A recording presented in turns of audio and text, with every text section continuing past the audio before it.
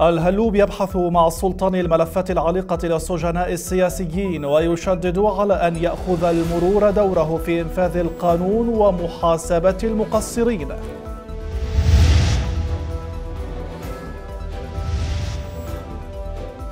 السودان يرحب بمؤتمر المسيحيين العالمي في العراق وبرلمانيون يؤكدون انشغاله بالبرنامج الحكومي أكثر من صراع النفوذ الشيعي.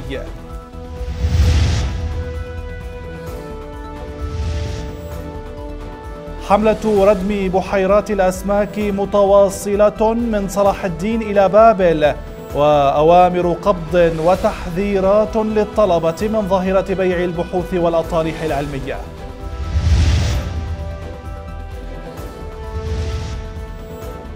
خبراء دوليون يحذرون من الغفلة الاستخبارية ضد داعش ومن التجميل إلى السباكة. المهارات الإيرانية تغزو السوق العراقية. من عناوين نشرة إلى تفاصيلها والبداية من تكريت أهلا بكم. حيث استقبل محافظ صلاح الدين إسماعيل خضير الهلوب رئيس مؤسسة السجناء الدكتور حسين السلطاني وبحث معه عددا من الملفات العالقة والمشكلات التي يعاني منها مراجعو المؤسسة وإيجاد الحلول المناسبة للمعوقات التي تواجه العاملين فيها. وتذليل الصعاب أمام حركة وسير المعاملات العالقة من أجل تقديم الخدمة لشريحة السجناء. وأكد المحافظ على ضرورة شمول شريحة السجناء السياسيين بكافة الحقوق والإسراع في استلام المعاملات منهم وإنجازها تقديرا لكل التضحيات التي قدموها.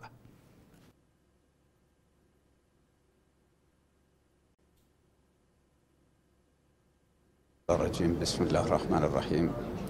اليوم تشرفنا بزيارة محافظة صلاح الدين وكان اللقاء مع السيد المحافظ.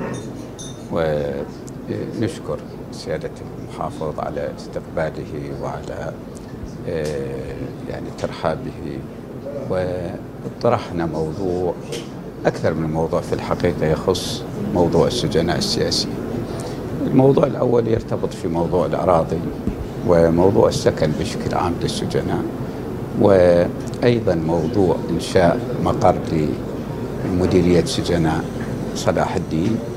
وكذلك بعض الأشياء المرتبطة بالجانب الإداري الحقيقة لقينا تجاوب طيب وأوعد السيد المحافظ أن يضع أولوية واهتمام خاص لموضوع السجناء. باعتبارهم أنه يعني من الشرائح المضحية من جهة وأعمارهم أيضا معدل أعمارهم الآن تعدى 60 ولهم قانون أيضا في هذا المجال. بشكل عام. وضعنا في صلاح الدين طيب. أنا باعتقادي إذا الله وفق وتعاونت المؤسسة والمحافظة نقدر نتجاوز هذا يعني الإشكالات اليسيرة على مدى قصير إن شاء الله. أنا أكرر جزيل أقدم جزيل شكري وتقديري وثنائي للسيد المحافظ على تعاونه. وفي الحقيقة هو يعني مسؤولية المحافظة يعني التأمين متطلبات وحقوق السجناء هي مسؤولية المحافظة قبل ما تكون مسؤوليتنا. أسأل الله سبحانه وتعالى أن يوفق الجميع لأداء مسؤولياتنا على أكمل وجه إن شاء الله. طبعا إحنا كل المطالب اليوم اللي تقدم بها يعني معالي رئيس مؤسسة السجناء السياسيين خصوص قطاع الأراضي أو بناية المقر الخاص بهم في مركز المحافظة أو حتى تأهيل المقر الحالي. كلها هي ضمن إمكانية المحافظة. واتفقنا يعني مع الدكتور يكون أكو هناك كتب رسمية توجه المحافظة. يكون هناك يعني أولويات بالنسبة لهم بالنسبة لتخصيص الأراضي. وأيضا تعاون في مجال تنفيذ الدائرة راح يكون اكو كوادر هندسية من المؤسسة يعني تعمل مع المحافظة إن شاء الله بعد إدراج حالة مشروع بناية مؤسسه السجناء يعني يعملون مع المحافظة في تشييد هاي البناية إن شاء الله.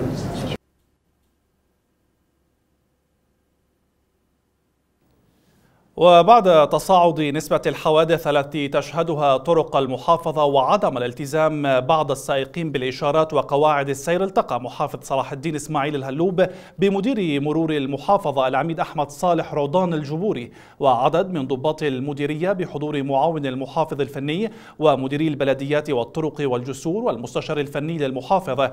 وبحث العديد من القضايا التي تخص الحركة المرورية وأبرز إجراءاتها وخططها الهادفة. ومن بينها السعي للحد من الحوادث المرورية وملاحقة جميع المخالفين ومحاسبتهم وفق القانون. وأكد المحافظ على أهمية رجال المرور في المحافظة لما لهم من دور كبير وفعال في تنظيم حركة المواطنين في الشوارع كافة وارتباط حياة العديد من المواطنين بدقة عملهم وإتقانهم للمهام الموكلة إليهم مضيفا.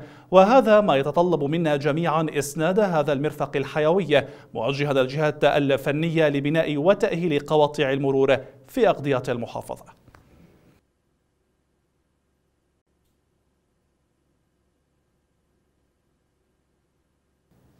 وفي ملف قريب من الانضباط والتوجيه طالب أصحاب المحال في سوق تكريت قائد شرطة صلاح الدين عودة دوريات الشرطة الثابتة في السوق وذلك بعد حصول مشاجرات بالآلات الحادة وتكرار حوادث الحرائق مبينين أن وجود دورية للشرطة يبعث الأمان في نفوس التجار من خلال الاطمئنان على محالهم من السرقات أو أي حدث طارئ. عندنا مناشدة من خلال قناتكم الموقرة. إلى قائد شرطة صلاح الدين وإلى الأجهزة الأمنية وكل من يهمها الأمر.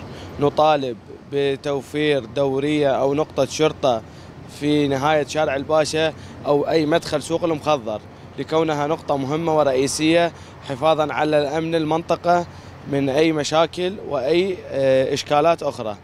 آه، مثل ما نشوف نقطة الشرطة في هذا المكان مدخل سوق المخضر أو سوق الجملة مهم.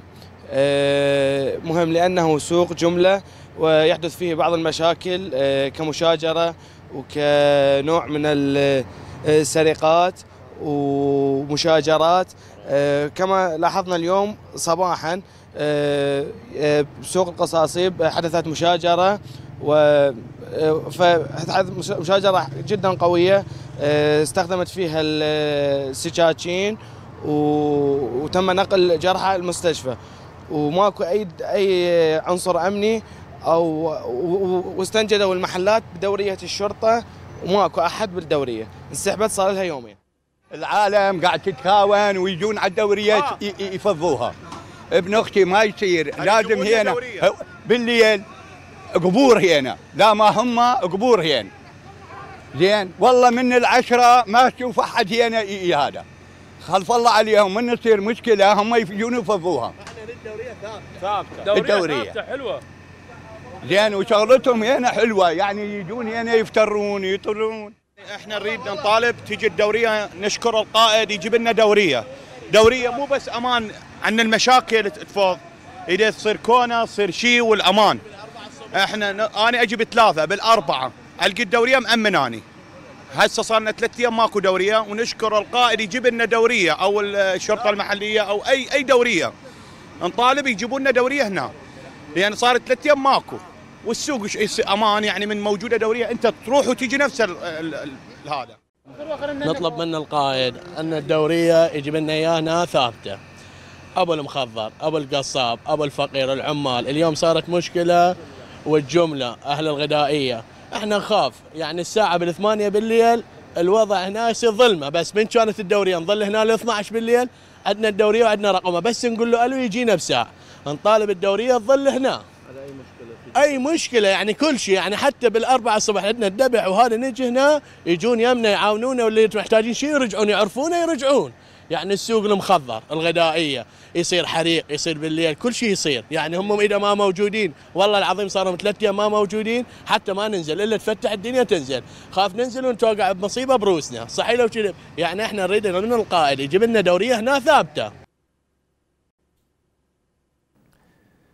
وردا على الشكاوى الواصلة بخصوص المياه من منطقتي الرصاص والضلوعية بين مدير ماء صلاح الدين محمد محمود أن شح المياه في عمود نهر دجلة أثر بشكل سلبي على مجمعات المياه في المنطقتين وأدى إلى تراجع الزراعة والثروة الحيوانية.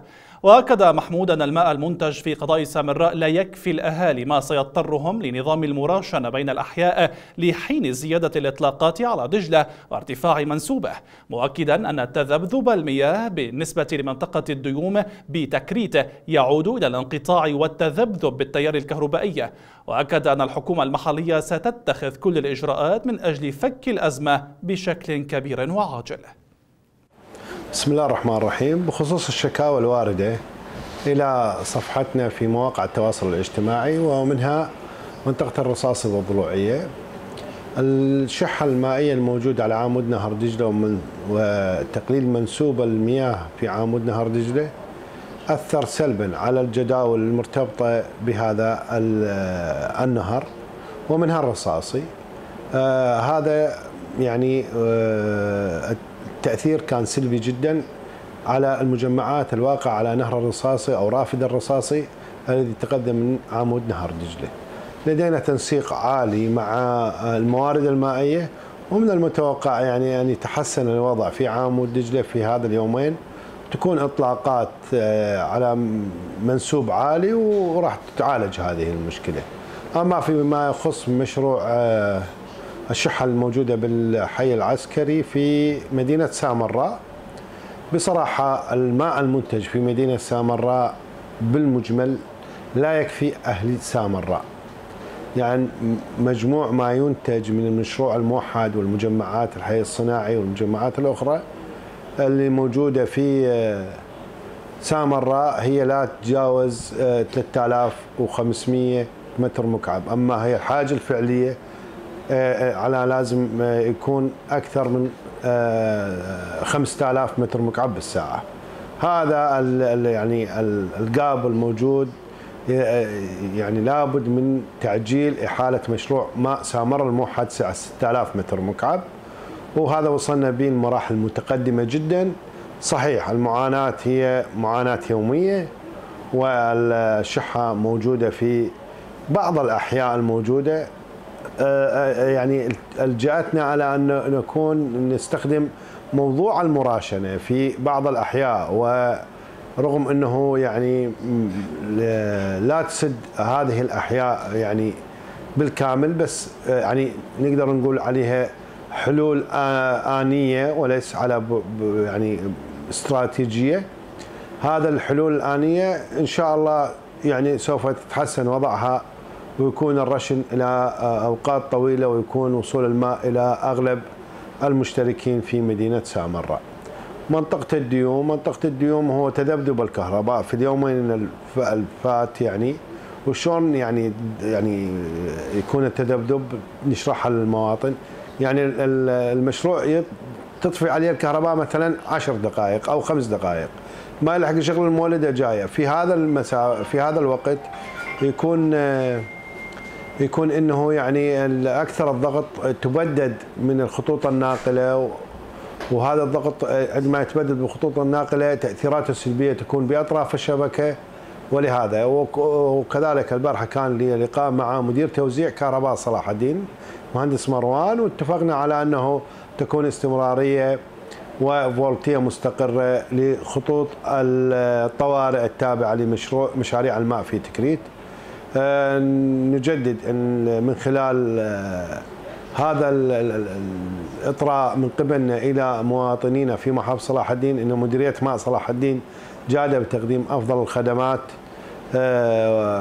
أفضل الخدمات لإيصال الماء الصالح للشرب للمواطنين من خلال تشغيل المشاريع والمجمعات وهذا التشغيل يأتي بمثابرة كوادرنا الفنية والهندسية في عموم المحافظة.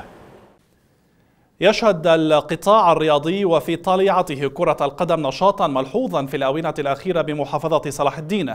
وضمن الدعم المتواصل لكرة القدم اختتمت بقضاء بلد بطولة العز والتحدي الخماسية على ملعب حي الحسين. وأكد اللاعبون والمقيمون على البطولة وجود اهتمام ودعم للشباب والرياضة ما فتح آفاقا واسعة للتنافس وإظهار المهارات الفردية. التفاصيل مع عبد الجبار مهدي. شبابنا الطيب يقدم باقة الشكر والامتنان إلى الراعي لهذا الكرنفال الرياضي الجميل. اختتمت بطولة العز والتحدي على ديم ملعب حي الحسين بين فريقي حي الحسين والازدهار. إذ اختتمت بلم شمل جميع الرياضيين وممارسة لعبة كرة القدم باعتبارها اللعبة الأكثر جماهيريا في القضاء. حضورنا اليوم في هذا الملعب آه، هو تشجيع للرياضيين وللرياضة آه، وحثهم على آه، ممارسة هذه الرياضة الجميلة أو اللعبة الجميلة. ونحن كتربويين نسعى دائما إلى تفعيل هذا الموضوع كدرس الرياضة مهم في تنمية المهارات وتنمية يعني أفراد قادرين على ممارسة اللعبة بشكل جيد. أوساط شعبية وتربويون أكدوا أن لعبة كرة القدم هي بناء أساس الرياضي ونسعى لدعم الرياضة والعمل مادة الرياضة يوميا في المدارس لبناء جيل شبابي واع محب للرياضة وبناء الجسم السليم. أه نشكر على القائمين على بطولة الشباب في قضاء بلد لعبة الخماسي. ونشكر الرياضيين أيضا حضورهم متابعتهم اليومية للرياضة. هذا الملعب يجمعنا بعد كورونا. آه، انقطعنا لفترة طويلة بعد كورونا. ترين أنت ضرب العالم باجمع كرياضيين كمدنيين مواطنين. فالحمد لله والشكر. هسه إحنا رجعنا للرياضة. وبدينا نمارس الرياضة. والحمد لله. ومشكورين آه، جميع الجمهور الحاضر. طبعا اليوم عندنا بطولة لعبة نهائية بين فريق الحي الحسين وفريق الازدهار. طبعا المباراة بين فريق الاعتزاز والجمعية. الشوط الأول انتهى الفريق الجمعية 2-0 وإن شاء الله إن شاء الله اليوم نحاول نطور الرياضة ونشكر السجل الانهار على دعم البطولة. اليوم يعني إيش قد النتيجة لحد الان؟ 2-0 آه، لفريق الجمعية. أمنياتكم لدعم الرياضه والله إن شاء الله تطور الرياضة أكثر وأكثر. إن شاء الله. رياضيون أن كرة القدم هي المتنفس الوحيد للخلاص من ضغوطات الحياة وروتين الأعمال اليومية وأن جميع الفئات العمرية في المدينة روتينها اليومي هي كرة القدم. مطالبين الدعم للفرق الشعبية والأندية لصلاح الدين للنهوض بالواقع الرياضي وخروج جيل واع ورياضي يتنفس لعبة كرة القدم لنقل نجاحات المحافظة بين المحافظات الأخرى. تحت شعار الرياضة تجمعنا اليوم كرة القدم تخلصنا من متنفس للشاب العراقي آه، للخروج من من الضغوطات ضغوطات الحياة الصعبة. آه، كرة القدم في العراق تجمعنا وبكل الأصناف تقتصر على فئة معينة أطفال شباب شياب رواد. وما شاء الله إحنا شوفنا في قضاء بلد إحنا نتنفس من صغيرنا لاكبر واحد بينا. آه، يعني آه، نمارس كرة القدم. مطالبكم اليوم من خلال مطالبنا إن شاء الله نتمنى الدعم آه، من من من المحافظ والمحافظة والمحافظة حصرا يعني وخصوصا في تطوير نادينا نادي بلد. لأن عندنا شاب عندنا شباب عندنا مواهب في مدينة بلد تستحق إنه تصعد توصل إلى مو بس العراق إلى خارج العراق عندنا مواهب هواي مظلومة هنا نتمنى إن شاء الله الخير للجميع. رياضة كرة القدم رياضة حلوة ومعشوقة الجماهير كل الأعمار. ومفروض من آه، جميع الرياضيين أن ما يتركون الكرة يبقون متواصلين آه، بتمارين سويدية إذا كان كبير أو آه، يعني تارك ويرجع. المهم إنه يتواصل ويا الرياضة إذا كان رياضي أو غير رياضي. ليش؟ لأن هي الرياضة يعني حيوية الجسم. تنشط العضلات المفاصل الفكر الصفي. فالرياضه هي شيء نوع جيد بالنسبة للإنسان. من قضاء بلد عبد الجبار مهدي. قناة صلاح الدين الفضائية. كشف رئيس اللجنة المحلية للحزب الديمقراطي الكردستاني في قضاء الطوش شرقي صلاح الدين عن خوض انتخابات مجالس المحافظات ضمن قائمة الحسم الوطني المكونة من 30 مرشحا قال باختيار هجران محمد أن القائمة تضم مرشحا واحدا عن الحزب الديمقراطي وهي تارا جلال حميدة لخوض الانتخابات مشيرا إلى أن القائمة في طور إعلان برنامجها الانتخابي في صلاح الدين. ويؤسس هذا الإعلان عن عدم اتفاق الأحزاب الكردية على قائمة موحدة في المحافظات خارج سلطة إقليم كردستان ما سيضعف نتائجها وخاصة في نينوى وكركوك. وفي قواعد فض الاشتباك السياسي والتفرغ لترسيخ مفاهيم السلم الأهلي استقبل رئيس مجلس الوزراء محمد الشيع السوداني بطريرك السريان الكاثوليكي الأنطاكي في العالم مار أغناطيوس يوسف الثالث يونان والوفد المرافق له بحضور وزيرة الهجرة والمهجرين إيفان فايق جابرو.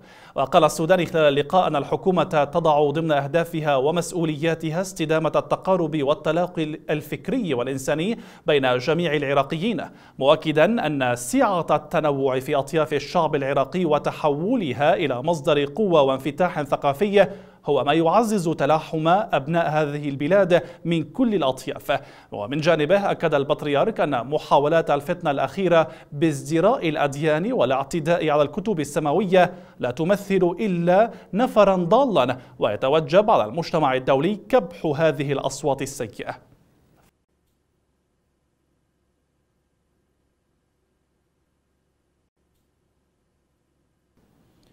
وضمن القراءات السياسية أيضا تشير معلومات أطراف مطلعة إلى أن قرار السوداني بالتخلي عن انتخابات مجالس المحافظات مرتبط بعدم استعجاله لتحقيق قاعدة جماهيرية لاستثمارها بعد نهاية ولايته ولكونه غير راغب بالتنافس في مساحة الجغرافيا الشيعية الحالية. ويقول مطلعون أن السوداني مهتم بالجوانب الخدمية أكثر من السياسية في الوقت الحالي وهو ليس على عجلة من أمره بانتظار الانتخابات البرلمانية بقاعدة شعبية رصينة مثلما لا يريد منح القبول الشعبي رصيدا لجهة سياسية دون غيرها.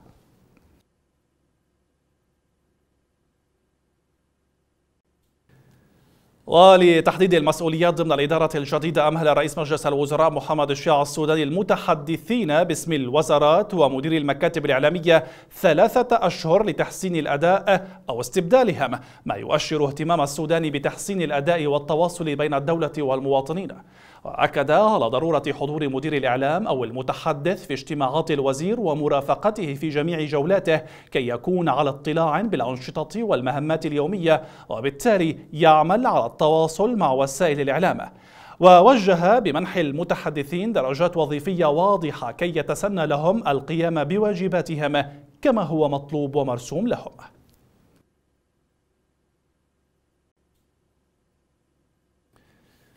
وفي استعادة زمام المبادرات الحكومية أكدت وزارة الموارد المائية مواصلة حملة إزالة التجاوزات وتجفيف البحيرات وردمها لضمان توزيع الحصص المائية بين المحافظات بشكل عادل قبل بدء الموسم الشتوي. أشارت الوزارة في بيان إلى قرار رئيس مجلس الوزراء بضرورة إزالة بحيرات الأسماك المتجاوزة في جميع المحافظات وبالأخص منطقتي الإسحاق في صلاح الدين والمدائن في بغداد لتقليل الاستهلاكات المائية غير الضرورية. اعتبرت الوزارة فترة الإنذار التي منحتها لأصحاب البحيرات كافية لبيع الإنتاج وردمها مؤكدة تنفيذ نحو 50 عملية إزالة يوميا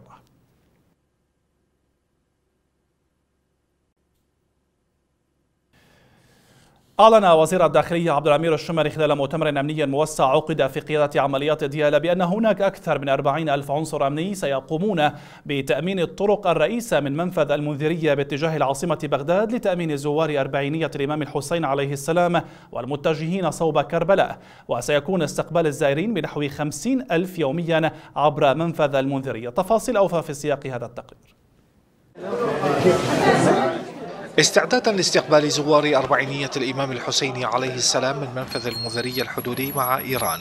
ترأس وزير الداخلية الاتحادي عبد الأمير الشمري مؤتمرا موسعا في قيادة عمليات ديالى مؤكدا على أهمية العمل الأمني المشترك لإنجاح الزيارة وتكثيف الجهود الاستخبارية ومتابعة جميع ما يتعلق بهذه الذكرى العظيمة. كان هناك عرض للخطة الأمنية الخاصة بحماية زوار أربعينية الإمام الحسين. القاصدين إلى كربلاء المقدسة سواء سيرا على الأقدام أو بالعجلات. طبعا محافظة ديالى نعتبرها إحنا من محافظات الانطلاق باتجاه محافظة كربلاء وباقي العتبات المقدسة الأخرى.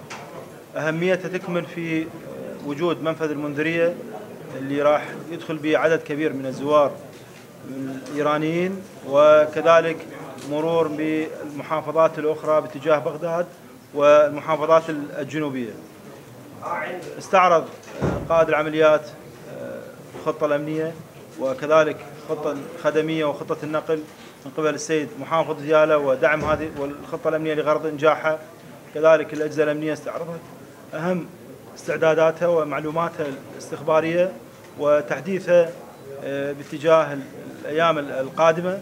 الخطة راح تشهد انتشار واسع للقطاعات على طول تنقل الزائرين وكذلك آه، وجود جهد خدمي واضح من قبل المحافظة لتأمين الأعداد الكبيرة اللي تقصد الزيارة.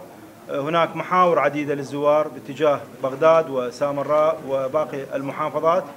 إن شاء الله راح تدخل الخطة حيز التنفيذ خلال بداية الأسبوع القادم ويكون هناك أكثر من أربعين ألف عنصر أمني في المحافظة من الجيش والشرطة والحج الشعبي راح يساهمون في حماية الزوار اتجاه كربلاء المقدس. منفذ المنذرية راح يكون مفتوح لدخول الزوار. نتوقع آه، يوميا دخول أكثر من خمسين ألف زائر وبدوره أكد محافظة مثنى التميمي إجراء كافة الاستعدادات الخدمية لاستقبال الزوار الوافدين عبر منفذ المنذرية الحدودي وتقديم كافة التسهيلات المطلوبة لإنجاح الزيارة المليونية. العام الماضي كان عندنا تجربة باستقبال أكثر من 250 ألف زائر.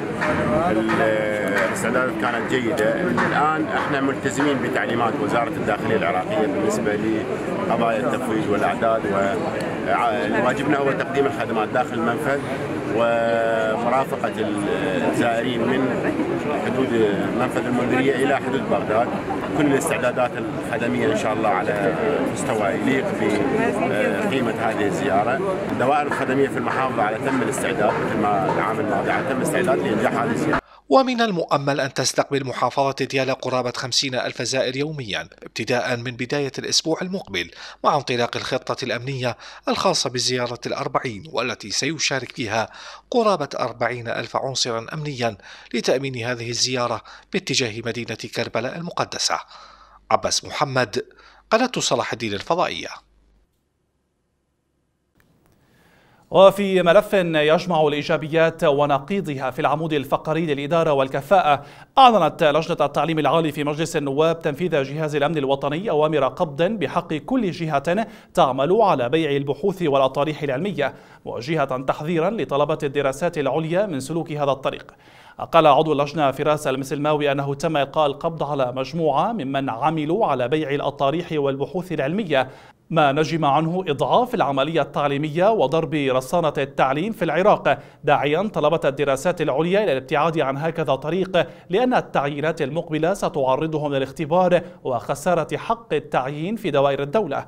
وعن الخطوات المتخذة لتحسين منح الشهادات العليا أوضح أن وزارة التعليم عادت إلى التعليمات الأساسية في الامتحان التنافسي خلال العام الجاري وهو تحقيق النجاح شرطا لقبول الطالب في الدراسات العليا.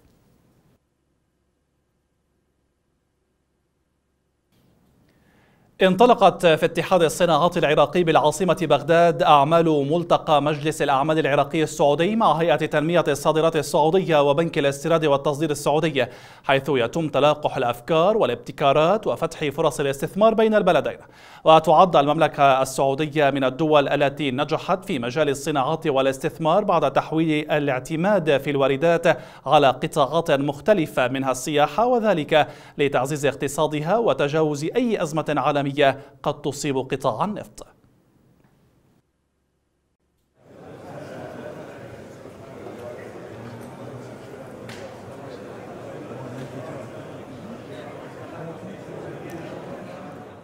اليوم قامت هذه الملتقى بين رجال الأعمال العراقيين اللي دعاهم المجلس الاقتصادي المجلس التنسيق العراقي السعودي مع بنك الصادرات والإستيراد السعودي. طبعا هذا البنك آه، عزز بمبلغ مالي للصادرات والاستيراد من العراق.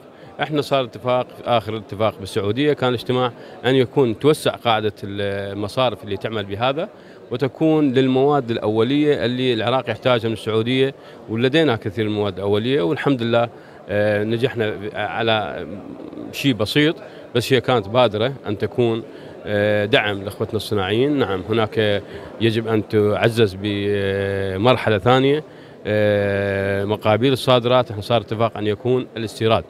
اليوم آه، سيد الملحق الاقتصادي أبشرنا بأن البضائع العراقية عند الحدود توزع قبل لا توصل للسعودية. آه، هذه آه، ستدفع إخوانك الصناعيين تعزز صادراتهم إضافة لدعم الصادرات اللي اخذناه من الحكومة العراقية. مبارك للسعودية. هذا التطوير بالصناعة ودعمها للصناعه عن طريق البنوك والمصارف بالنسبة للتصدير وبالنسبة للاستيراد وبالنسبة لإنشاء لإنشاء المشاريع. آه، السعودية وضعت خطة 2030 بتكون إنه اقتصادها اقتصاد مميز. لاحظت أنت من خلال هذا الموضوع إنه السعودية تعتمد على الاقتصاد الريعي ألا وهو تصدير النفط 50% اذا بقية اعتمادها على الإيرادات الغير النفطية. وهذا جيد. يا ريت نتعلم من عندهم. يا ريت ناخذ التجربة الجاهزة كاملة مجرد ناخذها ونطبقها نبارك لهم. كنا نتمنى أن تتاح لنا فرصة من أجل نبين قدرات المصانع العراقية تصدير المصانع العراقية بالمواد. آه عندنا الحمد لله والشكر قدرات وصلنا لأوروبا. وسمعتوا كلكم العالم كله سمع. عندنا تصدير حتى لهم عندنا تصدير. هنالك بعض المعوقات بالتصدير نتمنى إنه من خلال هذا اللقاء إنه نزيل هاي المعوقات حتى نقدر نصدر بضائعنا إلى السعودية. طبعا هو فرصة كبيرة لرجال الأعمال العراقيين الشركات العراقية باعتبار إنه السعودية تعتبر من البلدان المتطورة آه، يعني في مجال الصناعة والاستثمار والمصارف. آه، مشاركة هذا الوفد اليوم مع رجال الأعمال العراقيين فرصة كبيرة للشركات العراقية لعقد شراكة استراتيجية مع الشركات السعودية أيضا لتنفيذ آه، وثيقة الإطار الاستراتيجي بين السعودية والعراق. يعتبر مجلس التنسيقي الحكومي العراقي السعودي أيضا بوابة كبيرة لدخول الشركات السعودية إلى العراق وإقامة صناعة مشتركة استثمارات مشتركة فاعتقد هذه المؤتمرات وهذه اللقاءات توفر فرصة كبيرة لكل قطاعات العمل في العراق بالمستقبل القريب. أهمية الملتقى اليوم بيساعد في بناء الجسور ما بين التجار العراقيين والتجار السعوديين. الجهات المنظمة على المؤتمر آه، اللي هو المجلس آه، الأعمال العراقي السعودي بلا شك ساهم في بناء هذه الجسور آه، التجار العراقيين أو المستوردين أو المستوردين العراقيين هم بحاجة إلى دعم تمويلي ودعم تحويل لإتمام صفقاتهم التجارية ما بين العراق والسعودية.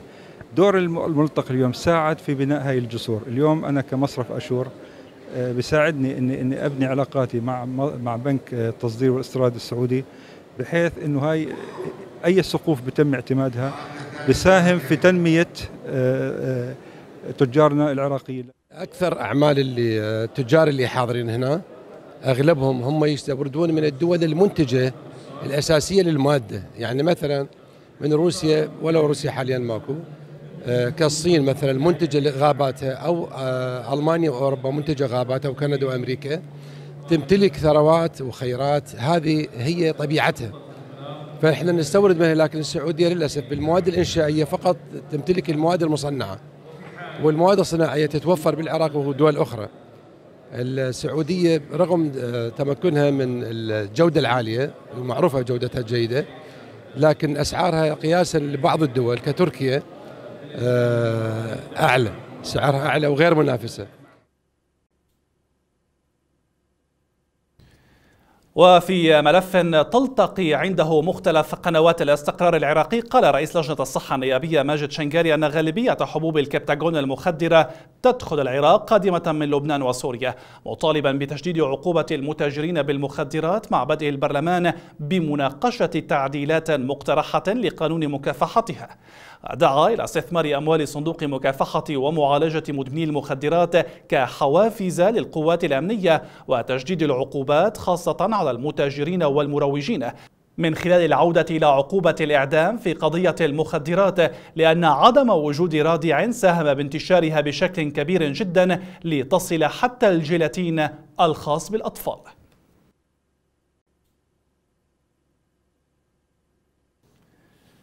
تشغل انتخابات مجالس المحافظات المقبلة في الثامن عشر من كانون أول من العام الجاري الشارع العراقي بناخبيه ومؤسساته الحكومية والمدنية المعنية بالشأن.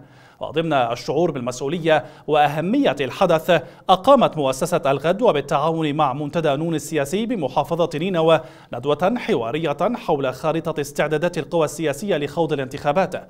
وفي جانب آخر من الندوة شدد المحاضرون والمحاورون على ضرورة توعية وتثقيف المجتمع على المشاركة والإدلاء بالأصوات كونها السبيل الوحيد للتغيير وإزاحة الفاسدين. داعين الجميع إلى الاستفادة من مدة تمديد تحديث سجلات الناخبين لاستلام البطاقة البيومترية قبل انتهاء المهلة النهائية. اليوم الفرد يمكن نجي نقيس نسبة بس هو شنو؟ شاف المواطن محتاج هذا الشغله انه لها ناس لها داخل نيه أو داخل المحافظة. نظم منتدى نون السياسي حلقة نقاشية حول إجراء انتخابات مجالس المحافظات وحول أبرز ملامح المشاركة المجتمعية فعالية الكتل السياسية في عرض برامجها الانتخابية. كان الحوار يدور حول الوعي المجتمعي وكيفية رفع الوعي المجتمعي في الانتخابات في هذه الحلقة النقاشية وتوصلنا إلى عدة نقاط مهمة لرفع الوعي كذلك ناقشنا برامج الكتل السياسية وكيف سنعرض المرشحين في ندوات وفي مناظرات لإبراز برامجهم ومشاريعهم للمواطنين ومناقشتهم في ذلك. خطوة جديدة اليوم اليوم محتاجين نحن في مقتبل انتخابات مجالس المحافظات على معرفة ودراية كاملة بندوة أو تدريب أو ورشة فعالة معرفة كيفية وماهية الخطة الانتخابية أو البرنامج الانتخابي. فشفت بأنه هذه الخطوة كل جيدة كون استعدادات القوى السياسية لخوض انتخابات مجالس المحافظات لعام 2023 خطوة كل جيدة. استقبلت فيها كثير من الفئات وكثير من اللي موجودين عدة اختصاصات. ضروري بأن نكون على دراية كبيرة بأهمية الاقتراع وأهمية انتخاب مجالس المحافظات. وأيضا اختيار المرشح الموفق في الاختيار واللي راح يكون الصوت له اليوم المواطن بحاجة ماسة وبحاجة كبيرة لتغيير حقيقي أنه يختار المرشح ويختار برنامج انتخابي حقيقي صحيح لمسار حياة جديدة لمجتمع جديد يمتلك من نسبة وعي كبيرة في أهمية الاقتراع والله أبرز مخرجات هذه الندوة. الندوة كانت من أهم الندوات اللي صارت على أرض محافظة نينوى. طلعنا بكتل سياسية عرفنا الكتلة السياسية وجوه على الساحة الموصلية. نتأمل من المواطنين أنه يحدثون بيومترية. هاي التحديث مالها الحين راح يساعد بإخراج النينوى بأحسن صورة.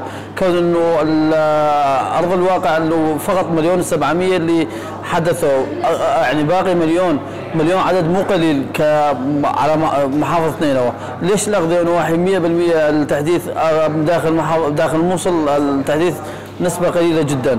نتأمل أنه من الكتلة السياسية اللي صارت بمحافظة نينوى الوجوه الجديدة اللي صارت بمحافظة نينوى يقومون ينهضون بالشارع بالخدمات بالتبليط بالأعمار كمستشفيات كعمارات كشقق شوية شوية إن شاء الله تتحسن من الوضع الاقتصادي والوضع المعيشي بداخل محافظة نينوى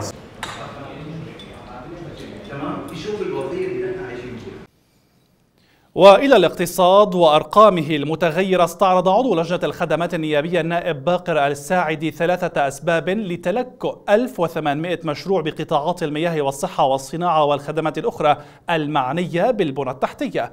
وبعد استضافة أغلب المحافظين قال الساعدي إن التقاطعات والفساد وعدم وجود رؤية شاملة لحل الإشكاليات التقت جميعها عند تعطيل المشاريع مؤكدا أن حكومة السودان نجحت في استئناف 30% من تلك المشاريع خلال فترة وجيزة. وأشار إلى أن صرف موازنة العام الجاري سيعطي دفعة قوية لمئات المشاريع المهمة في المحافظات العراقية والتي توقف بعضها بانتظار دفع مستحقات الشركات والمقاولين مضيفا أن دور حكومة السودان في ملف الخدمات سيبرز بشكل لافت في الأشهر المقبلة. وضمن مديات تلسكوب المعالجات عد الخبير الاقتصادي الأكاديمي نبيل المرسوم استيراد الغاز القطري لرفض محطات الكهرباء بالطاقة في العراق أكثر جدوى من أي خيار آخر خاصة بعد تراكم الديون لإيران عن استيراد المادة نفسها. تابع الخبير قوله إن اختيار أي بديل عن الغاز الإيراني يتطلب دراسة للجدوى الفنية والاقتصادية للمعادلة. لذلك يأتي الغاز القطري لقرب المسافة وإمكانية إنشاء محطة استقبال الغاز في ميناء أم قصر بالبصرة ولفت إلى أن المسافة بين ميناء أم قصر وميناء حمد الدولي تقدر بنحو 650 كيلومتر فيما تصل إلى نحو 1600 كيلومتر مع تركمانستان ليكون الأول خيارا مقبولا بينما الثاني الأكثر تكلفة من حيث إنشاء الأنابيب أو تكلفة الاستيراد المباشر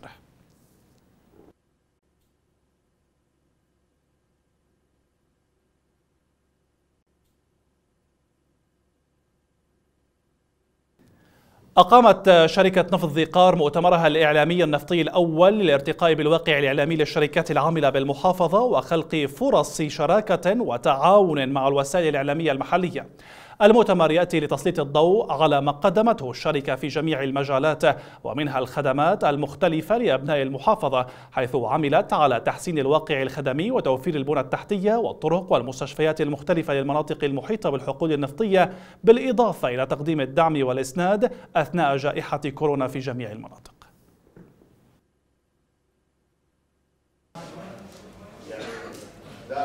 دور ولي دور تتشرف شرفة شركة نفط ذيقار في هذا اليوم بإقامة مؤتمرها الإعلامي الأول للمساهمة للارتقاء بالواقع الإعلامي في الشركات النفطية الوطنية العاملة في المحافظة وكذلك لتوفير فرص للتعاون مع المؤسسات الإعلامية والصحفية الوطنية الأخرى.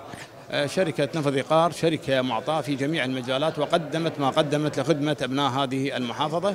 من خلال المساهمة من خلال الخدمات الاجتماعية وغيرها بناء مستشفيات وتعبير طرق في مناطق حقل الغراف وغيرها بناء مستشفيات وأخيرها وبناء مستشفى للأمراض السرطانية في المحافظة ودعم مستشفى القلب بالأجهزة الطبية. يهدف المؤتمر إلى الانفتاح على المؤسسات الإعلامية الوطنية وأيضا يهدف إلى إيصال رسالة إلى المستثمرين في قطاع النفط والغاز والراغبين في العمل في العراق وفي محافظة ذيقار بأن محافظة ذيقار محافظة آمنة للاستثمار في قطاع النفط والغاز. التواصل المستمر والقرب المستمر بين وسائل الإعلام والدوائر الإعلامية في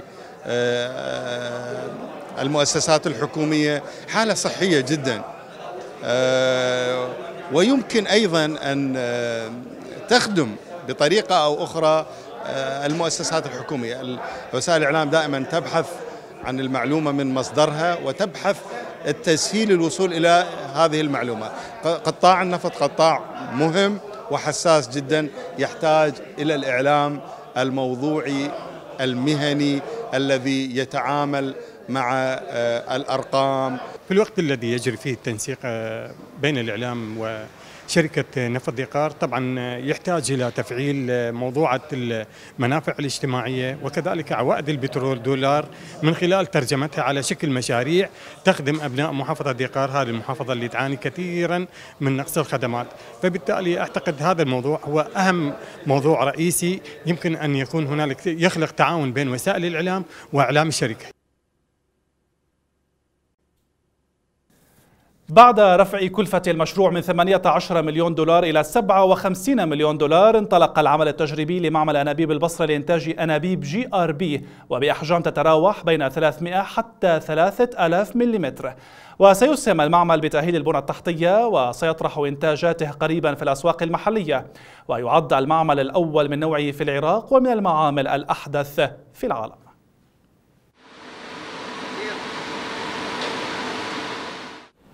كلفة المشروع بالبداية كانت 18 مليون دولار لكن بعد التوسعة أصبحت 57 مليون دولار.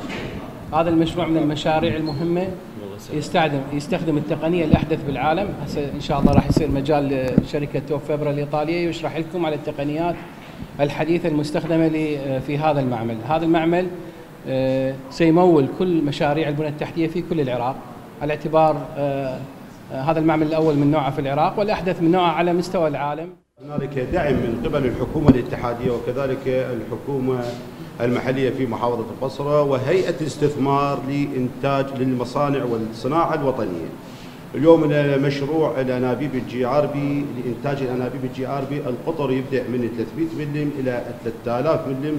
البدء بالتشغيل التجريبي والناجح إن شاء الله بعد أن تم الاتفاق بين شركة النرجس وشركة توفيبرا على مذكرة تفاهم استيراد المكائن وكذلك التشغيل والتدريب الكوادر العراقية. وإن شاء الله هذا المصنع سوف يسرع من مشاريعنا البنى التحتية اللي هي نقل المياه الصرف الصحي وكذلك نقل مياه الأمطار والخطوط الناقلة لمياه الإسالة إن شاء الله قريبا يبدأ الإنتاج في الأسواق المحلية وبعد الدعم المباشر من قبل هيئة استثمار البصرة للصناعة الوطنية مستمرون كذلك مشاريع مستقبلية لمحافظة البصرة لتشغيل اليد العاطلة وكذلك إسراع بإنجاز مشاريعنا. صنعت هالمكانات آه، من خبرات ألمانية وإيطالية وسلوفينيا. آه، انعمل جهد كبير لحتى تكون هي المكانات الموجودة بالعراق بشركة النرجس هي من أكثر المكانات المتطورة بالعالم من ناحية الجودة والتكنولوجيا الموجودة فيها.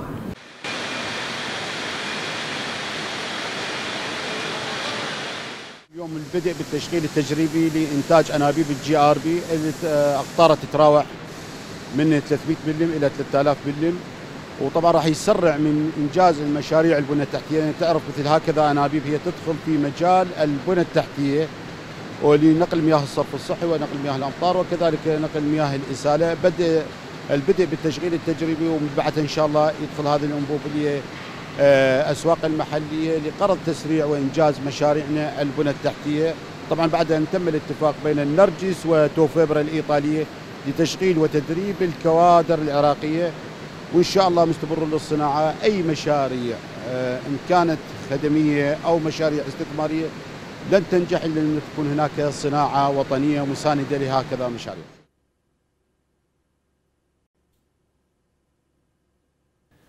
عادت مرة أخرى مشاهد الخطف والقتل إلى محافظة كركوك وقد عثر على جثة المغدور حسن جاسم البياتي الأب لخمسة أطفال بعد يومين من اختطافه بسيارته. وقد بين ذو المغدور ضعف دور الأجهزة الأمنية في البحث عن المختطف مؤكدين أن أبناء عمومته وباقي العشائر هم من عثروا على الجثة. مطالبين قيادات الأمن تأمين الطريق الحولي بالمحافظة والكشف عن الجنات وتسليمهم إلى القضاء لينالوا جزاءهم العادل.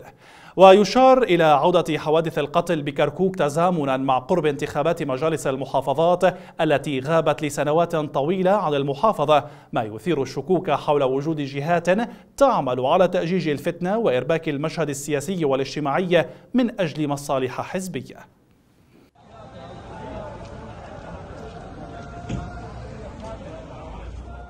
إحنا نشكر كل من يساعدنا بهذا الموضوع هذه الجريمه الشنيعة. والناشد القوات الأمنية وعلى رأسهم قائد العمليات أنه يطلعون حق ودم هذا المسلم البريء اللي يسعي قدام عائلته. في الحقيقة إحنا حقيقة نريد إنه هذا الدم المسلم ما يضيع. عندنا تجارب بالحياة إنه دم المسلم ما يضيع إن شاء الله. فكل خير يقدر يساعد قبيلة البيات. ويساعدنا إنه يقدم لنا خدمة إحنا إن شاء الله ما ننسى فضله. تيامنا مع كلام الله سبحانه عز وجل ولا تنسوا الفضل بينكم. هذا رجل نريد دمه إن شاء الله من الخيرين من القوات الأمنية من العمليات وإن شاء الله إن شاء الله دمه ما يروح. ربعنا قبيلة البيات والعشائر اللي موجودة هي اللي قد شافت الجثة بالمكان وهي طلعت الجثة. مع احترامنا للقوات الأمنية يومين السيارة مذبوبة على طريق أربيل ما حد يقول هاي السيارة شنو شكو بيها إيش ماكو بيها. لقينا السيارة ورا يومين واليوم الثاني بالليل كل الليل ندور على هذا الحولي اللي هو ما مؤمن هذا طريق الحولي اللي ممدود من تازة إلى تصل طريق سليمانيه على أربيل. هذا طريق ما مؤمن. فنحن كعرب كركوك وخصوصا مقاربة لوقت الانتخابات والبلبلة السياسية التي تحدث في كركوك نطالب الأجهزة الأمنية والقوات الأمنية بضبط الطريق الحولي المؤدي من تازة إلى شهراو وإلى عرفة وإلى طريق سليمانية ومنع المتشردين في سياراتهم وقوف وشروب الخمر على أكتاف الشوارع. ونحن لا نعلم ما هم الأشخاص الذين يجلسون هناك. هل من المعقول سيارة خطفت ساعة تسعة مساء وساعة بالخمسة مشمورة في الطريق بين عرفة والقوات العمليات المتقدمة لحد ساعة بالخمسة العصر. أين الجهات الأمنية؟ ماذا تفعل؟ هل هي مفخخة؟ هل هي ما هي هاي السيارة التي يعني ماكو جهة أمنية تسأل شنو هاي السيارة المتروكة. وحين العثور على الجثة نتصل بالجهات الأمنية العمليات النجدة شرطة دوميز شرطة يقول لنا ليس قاطعنا. لا. إذا إذا أنت قوات أمنية من هو مسؤول عن عن المواطن؟ وجثة مرمية. وننتظر ثلاث ساعات حتى تصل لنا القوات الأمنية لانتشال الجثة من من المكان التي وضعت فيه. فنطالب سيادة وزير الداخلية ورئيس الوزراء وقائد عمليات كركوك ومحافظ كركوك وقائد الشرطة وخصوصا هذه الجريمة البشعة بأن يبحثوا عن الجاني بأسرع وقت. ونحن كقبيلة البيات لدينا خصوصيات. إذا الأجهزة الأمنية لم تلبي طلبنا سوف نحن كأبناء عشائر قبيلة البيات نبحث عن الجاني. والله كريم.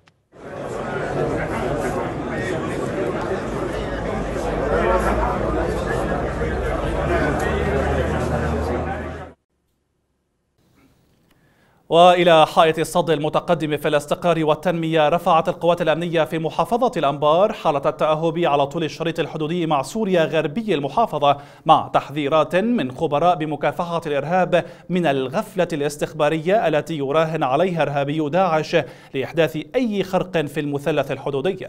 قال مصدر أمني القوات الأمنية مسنودة بقوات من الحشد الشعبي عززت من تواجدها في المناطق الصحراوية بقضاء القائم وصولا إلى الشريط الحدودي مع سوريا كإجراء احترازي والاستعداد العالي لمجابهة أي تعرض على القطعات العسكرية. وأشار المصدر الأمني بشكل خاص إلى اعتماد أقصى درجات الحيطة والحذر من عمليات تسلل من الأراضي السورية باتجاه المناطق الغربية.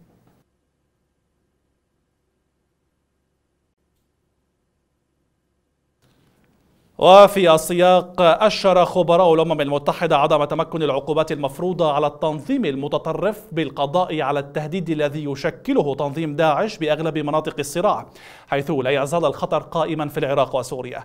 وأشاروا إلى نجاح داعش بتكييف استراتيجية الاندماج مع السكان المحليين وتوخي الحذر في اختيار المعارك التي يتوقع أن تؤدي إلى خسائر محدودة أثناء مرحلة إعادة تنظيم صفوفه وتجنيد المزيد من المسلحين من المخيمات والمجتمعات الضعيفة. ويحذر الخبراء من خطر آلاف العناصر في المخيمات والمعتقلات تحت ظروف قاسية لكنها توفر أجواء إعادة تنشيط عمليات التجنيد خاصة في صفوف ما يسمى أشبال الخلافة الذين يمثلهم أكثر من عشرين ألف عراقي وسوري.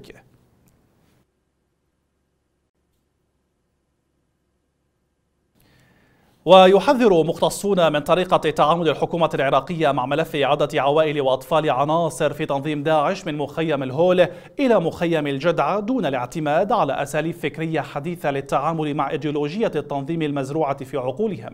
داعين إلى ضرورة إخضاع هذه العوائل لدورات مكثفة وإعادة تأهيلها. ومن ثم يسمح لهم بالعودة إلى مناطقهم الأصلية بعد التأكد من خلو سجلاتهم من المشاركة بأعمال إرهابية أو بدعم تنظيم داعش.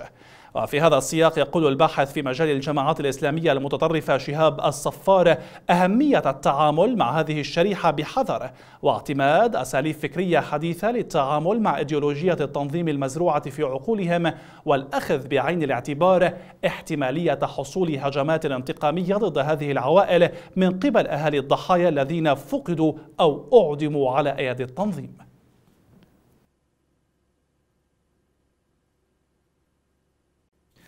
استطاعت الطالبة زهراء أحمد من قضاء الزبير بمحافظة البصرة من حظ المركز الأول في قائمة الأوائل على العراق متحدية صعوبات وضعها. إذ تعيش في منزل تجاوز مهدد بالإزالة. إلا أنها تمكنت من مواصلة الدراسة محققة حلمها في دخول كلية الطب. أنا الطالبة زهراء أحمد باهض من محافظة البصرة معدلي 99.86 بدون إضافة مع الإضافة 100.86 طبعا وصولي لهذا الحلم كان بفضل الله سبحانه وتعالى آه، والحمد لله بفضل مدرسيني وأهلي وأهلي من المشجعين اللي من البداية. آه، طبعا آه، هذا المعدل ما جاء بالصدفة يعني هذا حلمي من البداية إنه أطلع طب.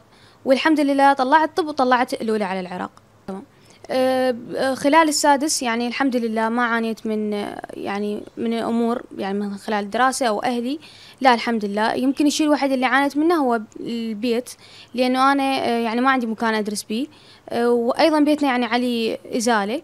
آه، مع ذلك أقول الحمد لله يعني وصلت لهنا الحمد لله والشكر اللي وصلت بدايتنا بهذا آه، المستوى الدراسي. رغم الظروف السكنية والظروف المعاشية ورغم أنه بيتهم تجاوز ورغم أنه آه، عليهم إزالة ووصلت بنيتنا إلى هذه المرحلة وحصلت هذا المعدل الجيد. أيضا نقدم شكرنا وتقديرنا إلى الكادر التدريسي اللي مدرسة الريان ومسؤولها الأستاذ ثامر. آه، وبنيتنا هذا كانت تحقق الحلم مالها هي آه، بهذا المعدل وإن شاء الله تنقبل على كلية الطب العام. ونشكركم جزيل الشكر.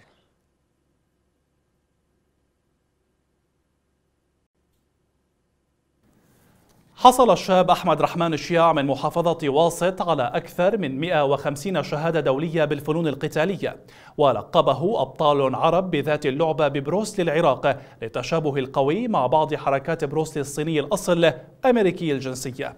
إلا أن الشبيه العراقي لم يحظى بالاهتمام ولا الدعم الحكومي ليضطر لافتتاح مدرسته الخاصة على حسابه الشخصي آملا أن يلاقي من يدعمه لنشر اللعبة وتمكين الناس من الدفاع عن أنفسهم. تفاصيل أخرى مع حسن الرسام. بروس العراق لقب أطلق على الشاب أحمد رحمن الشياع بعد مسيرة طويلة وحافلة في عالم الفنون القتالية والدفاع عن النفس توجت بما يزيد على 150 شهادة دولية. واحد. هاك يا تلقبت بلقب بروس العراقي لأن آه، شاركت في بطولة العرب في عام 2006 2007 وانطلق عليه لقب بروس العراقي لأن كنت اقلد جزء من حركات بروس لي ومفعم باسم بروس لي وأسلوب بروس لي في القتال. دخل أحمد عالم الفنون القتالية عندما كان في الرابعة من عمره ومنذ ذلك الوقت لم يتوقف عن الخوض في تفاصيل رياضة كانت وما تزال شغفه الوحيد. دخلت آه، طريق الفنون والعلوم القتالية. أنا من مواليد 1984 دخلت في هاي الرياضة في عام 1988 من كان عمري أربع سنوات وتلمذت على يد الأستاذ المسيحي زكريا الملقب زاكان ظل الشر. هي قصة تمتزج فيها مشاعر الفخر بمشاعر الحزن على مواهب تنتظر فرصة كي تهاجر لتثبت نفسها بعيدا عن الظروف القاسية والبيئية التي لا تدعم تطوير أي مشروع رياضيا لا طالما حلم فيه أحمد وغيره من المواهب العراقية. نعاني من عدم وجود التجهيز وعدم وجود الدعم المادي والمعنوي خصوصا الدعم المادي والمعنوي لأن لا توجد لنا قاعة ولا توجد لنا تجهيز. ودائما نخرج إلى البراري ونؤدي تماريننا الخاصة بنا وخصوصا هي هاي الرياضة. آه، شغفي وحبي لهاي الرياضة إنه خلاني إنه أجي أتدرب تايكوندو للعلم إنه ماكو دعم أو جهات معنية آه، تدعمنا. آه، ما عندنا مكان نجي نتدرب. اضطرينا إنه نجي بهذا المكان. رغم درجة الحرارة والقاع والخربطة يعني أشوفها. زاد أني حبيت هذا الرياضة وإجت عن طريق الصدفة وأتمنى أنه أدخلها بالمدارس. وأشجع البنات أنه يجن يتدربن لأن بيها دفاع عن النفس وتطوير الذات وبيها هواي أكثر أشياء آه، إيجابية. من محافظة واسط حسن الرسام قناة صلاح الدين الفضائية. ولأن خبز العراق يغزر كما يقول المثل العراقي لاحظ متابعون في الآونة الأخيرة زيادة الإيرانيين العاملين في العراق. وبمختلف التخصصات في رحلة ذهاب وإياب يومية لنحو ساعة من الأهواز إلى البصرة. تقارير مختصة توضح أن القائمة تشمل أخصائي التجميل إلى السباك والصباغ فالجميع يراهن على الفرص الكبيرة في العراق وارتفاع معدلات الدخل وأيضا فارق سعر الدولار. بينما لا تقف اللغة عائقا وبينما كان العراقيون من الجنسين يتجهون إلى إيران لإجراء عمليات التجميل اختار البعض الطريق العكسي لنقل الخبرة للعراق لمزاحمة الروس والأتراك الذين سيطروا على هذا السوق المهم. بينما ينتظر إيرانيون ومنهم سعيدة المتخصصة بالوشوم والمكياج فرصة في السوق الجديد.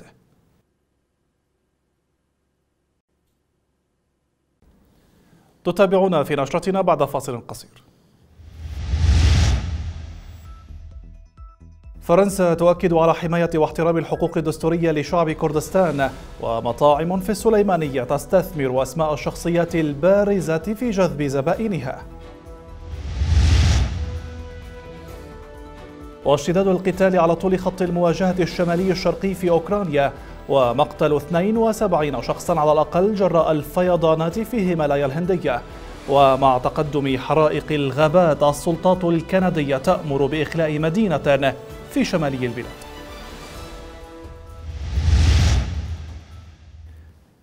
إلى التفاصيل مجددا أهلا بكم. أكد القائم بأعمال السفارة الفرنسية لدى العراق جان كريستوف على حماية واحترام الحقوق الدستورية لشعب كردستان. خلال لقائه رئيس حكومة إقليم كردستان مسرور بارزاني. بحث الجانبان آخر مستجدات وتطورات الوضع العراقي والمشاكل بين إقليم كردستان والحكومة الاتحادية مع التشديد على ضرورة حماية واحترام الحقوق الدستورية لشعب كردستان على أساس الاتفاقات المبرمة وتحت سقف الدستور بالإضافة إلى مناقشة مناقشة أوضاع المناطق الكردستانية خارج إدارة الإقليم والتأكيد على ضرورة إنهاء حملات التغيير الديمغرافي في تلك المناطق. تستثمر الكثير من المطاعم والمقاهي في السليمانية أسماء الشخصيات التاريخية والأماكن البارزة في تسمية أماكنها وذلك لكسب الزبائن لها. مطعم ضيوف مولوي أحد المطاعم الذي استثمر اسم الشاعر الكردي عبد الرحمن المولوي لكسب زبائنه من داخل وخارج السليمانية من خلال الديكورات الفلكلورية للمطعم والأكلات الشعبية التي يقدمها لزبائنه. عباس محمد والتفاصيل. لافتة هي أسماء بعض المطاعم والمقاهي في السليمانية التي استعارت أسماء قديمة لأماكن رسخت في أذهان الناس لتجديد شبابها وجذب الزبائن من عناوينها. فإذا مررت في شوارع السليمانية اليوم ستطالعك سلسلة من أسماء المطاعم والمقاهي التي تقفز أمام عينيك من النظرة الأولى.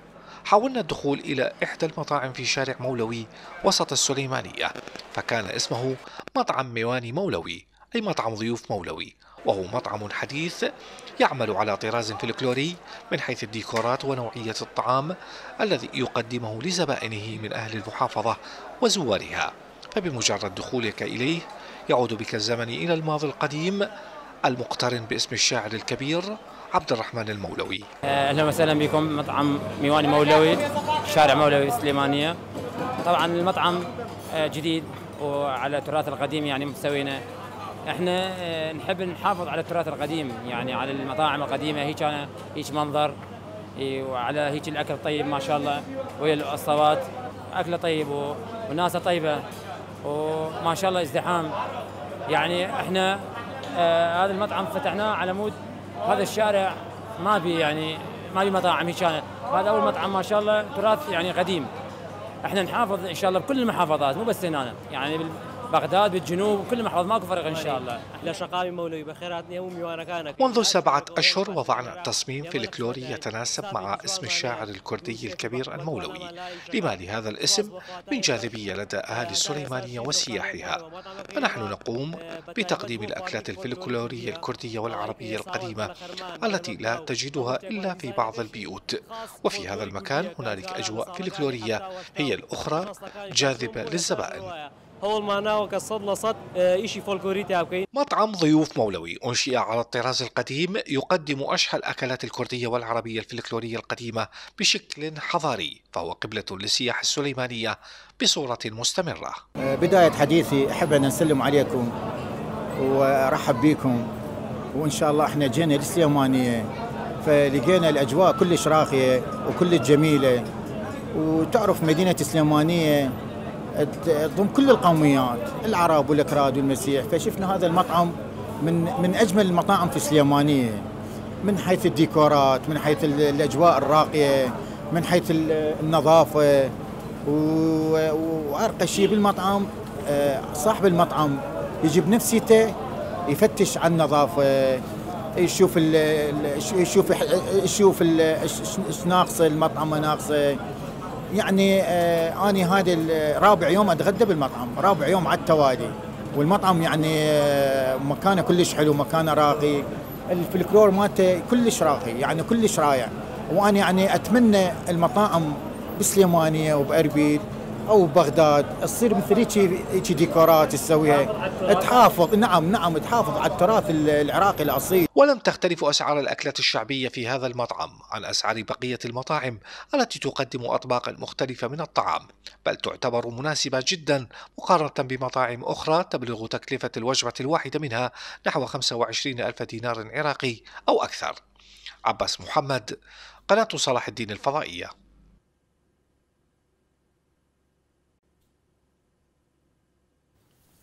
قال مسؤولون عسكريون أوكرانيون أن روسيا صعدت المعارك في منطقة ليمان وأن وحدات قذائف المورتر تنشر بشكل مستمر لصد تقدم موسكو. معلنين عن استخدامهم معلومات استخبارية جمعت بواسطة طائرة من دون طيار لضرب المواقع الروسية. كانت قوات لواء الدفاع الإقليمي قد استهدفت 100 موقع روسي وسط تكثيف جديد لعمليات القوات الروسية في الاتجاه الشمالي الشرقي لأوكرانيا. أعرب المسؤولون الأوكرانيون عن قلقهم من إمكانية نفاذ قذائفهم بسرعة رغم تأكيدهم أن لديهم ما يكفي من الأسلحة للحفاظ على زخم القتال.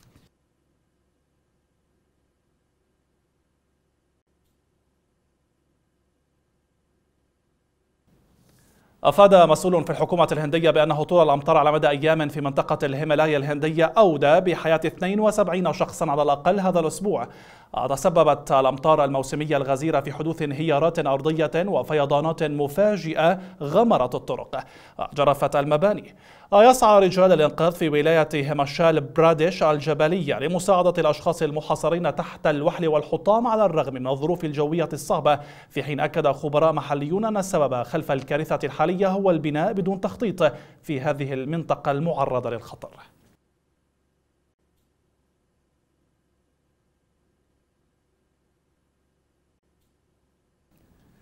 أمرت السلطات الكندية سكان يلونايف إحدى أكبر المدن في أقصى شمالي البلاد بالمسارعة إلى إخلائها وسط تحذيرات من أن حرائق الغابات قد تمتد إليها بحلول نهاية الأسبوع.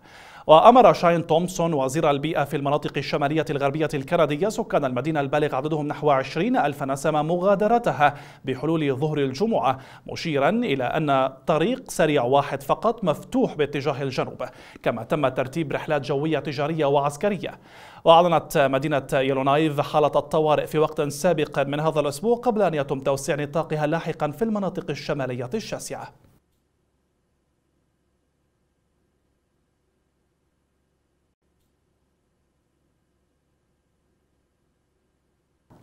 في الختام تذكير بأبرز العناوين.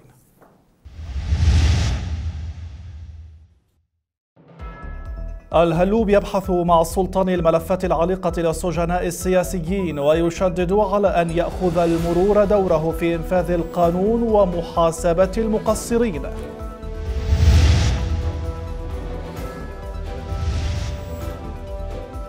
السودان يرحب بمؤتمر المسيحيين العالمي في العراق. وبرلمانيون يؤكدون انشغاله بالبرنامج الحكومي أكثر من صراع النفوذ الشيعي.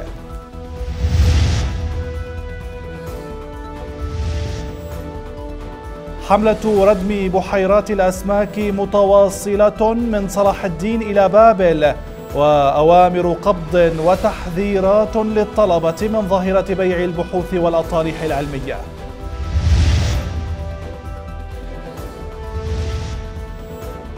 خبراء دوليون يحذرون من الغفلة الاستخبارية ضد داعش ومن التجميل إلى السباكة المهارات الإيرانية تغزو السوق العراقية